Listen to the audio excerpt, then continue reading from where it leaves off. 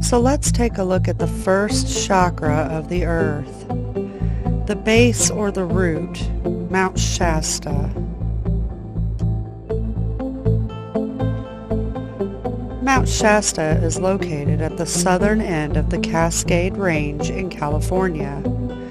This potentially active volcano stands 14,179 feet high, making it the second highest peak of the Cascade Range, but only one of many that are part of the Shasta Trinity National Forest. Mount Shasta has quite a few legends, stories, and anomalies that have followed it through time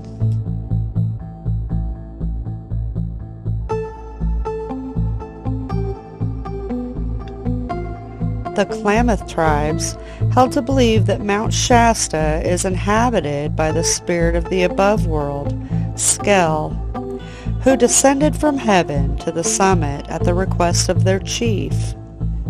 Skell then fought with the spirit of the below world, Llao, who resided at Mount Mazama, by throwing hot rocks and lava.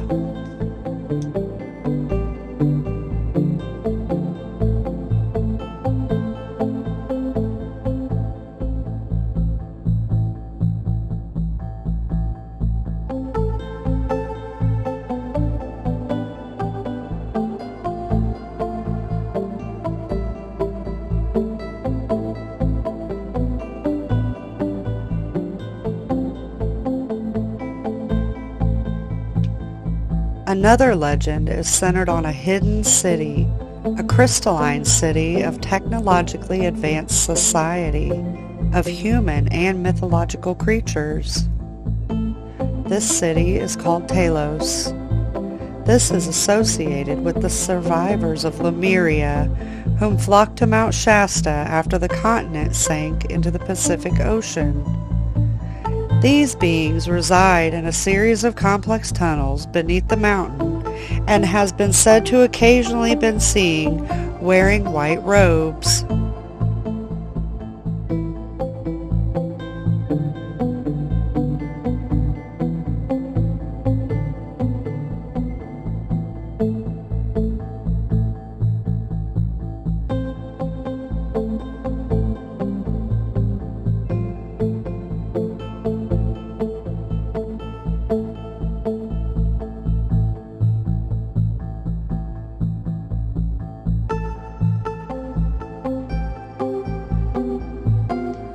Another gentleman named J.C. Brown, whom is a British prospector, discovered an underground city beneath Mount Shasta in 1904. Brown was employed by a mining company and came over from England to prospect for gold.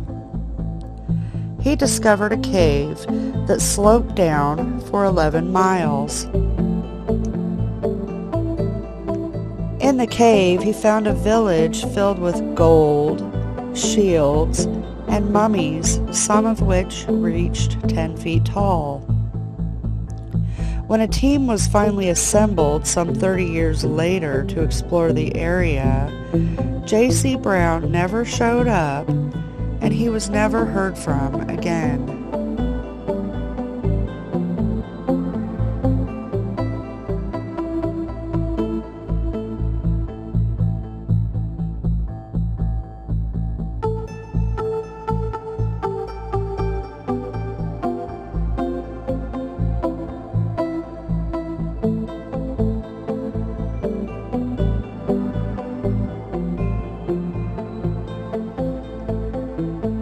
Gentleman named Guy Ballard, who was hiking, said to have encountered the Count of Saint Germain.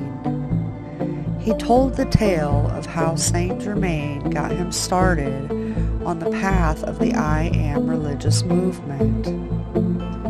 Saint Germain was a European adventurer with an interest in science, alchemy, and the arts. He was known as an aristocrat gentleman who did not die and who knew everything. He kept his birth and background very secretive, but it has been rumored that he was born to the Prince of Transylvania around the year 1691.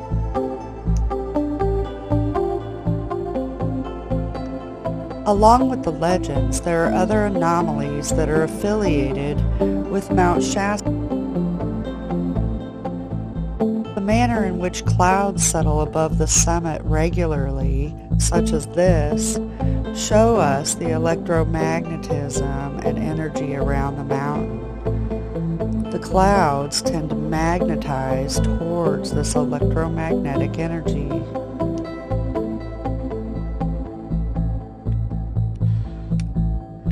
Another is the energy people talk about having felt while visiting. They describe it as a vortex type energy. At these points, energy is emitting out of the earth in cone patterns, connecting the above to the below. If the energy is spiraling upward in a clockwise motion, it is considered a negative energy. If it is spiraling downward in an anti-clockwise motion, it is considered a positive energy. Also, the diameter of Mount Shasta being the same as CERN at 17 miles wide seems like an odd coincidence, except there are no coincidences. There are many truths to be discovered in all this information, so let's get into it.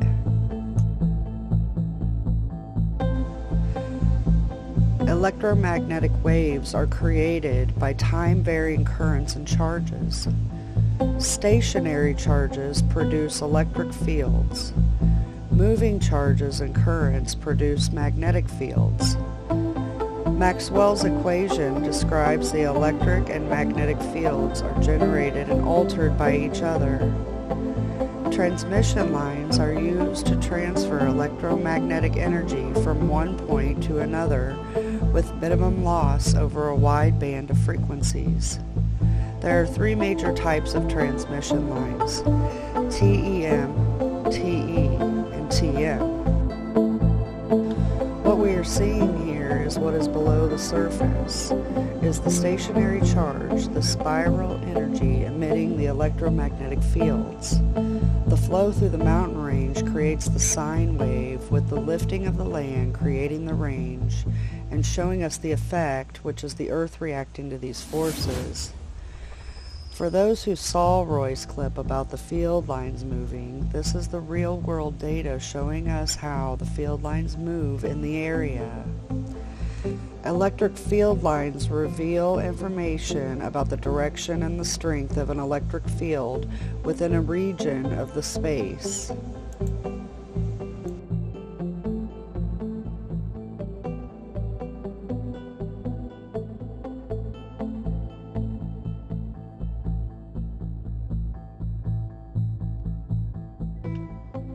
T is the period of a waveform.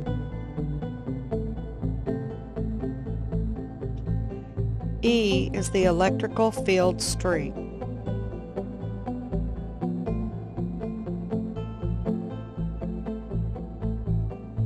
L is self-inductance.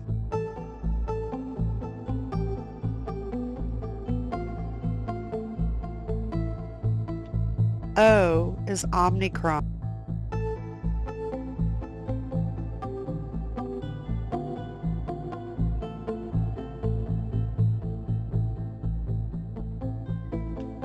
S is displacement.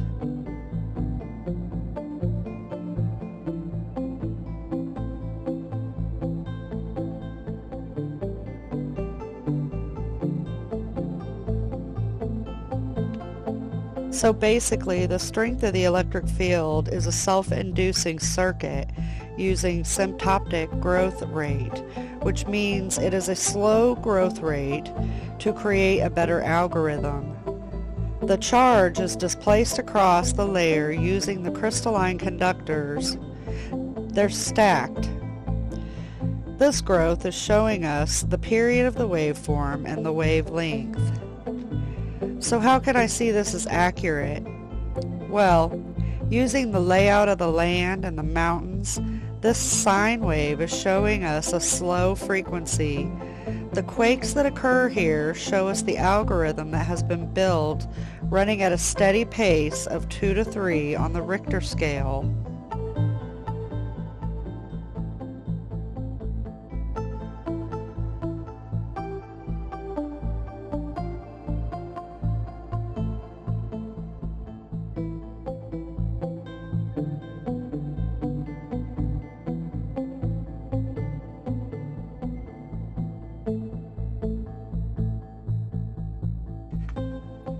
So the year 1904 was when a British prospector came over to assess the land.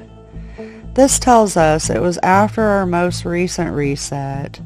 The Crown wanted to establish the area just like the elite always do after each reset. They know exactly where to go to obtain the glory. So J.C. Brown was sent on his mission, reported back the details, perhaps the state of the area was in after the reset, or perhaps to assure everything was still intact. However, when a team was assembled 30 years later, which gave the Crown quite a head start, J.C. Brown never showed up, and then he was never heard from again.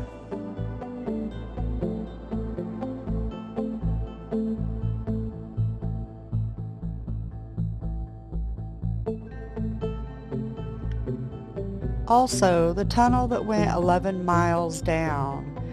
This is where a majority of this technology resides, as we have said many times in past research.